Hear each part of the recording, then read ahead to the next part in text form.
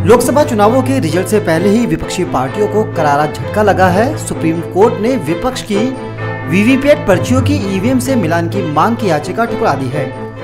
Court ने अपने judgement में कहा है कि हम इस मामले में आपको सुनने के लिए बाध्य नहीं हैं। इस मामले में टीडीपी नेता चंद्रबाबू नायडू और कांग्रेस सहित 21 विपक्षी पार्टियों ने 50 फ़ीसदी वीवीपैट पर्चियों की ईवीएम से मिलान की मांग की थी। मामले की सुनवाई के दौरान सुप्रीम कोर्ट ने साफ़ कहा है कि हम दखल देने को तैयार नहीं हैं और हम आपको सुनने के लिए बाध्य भी नहीं हैं।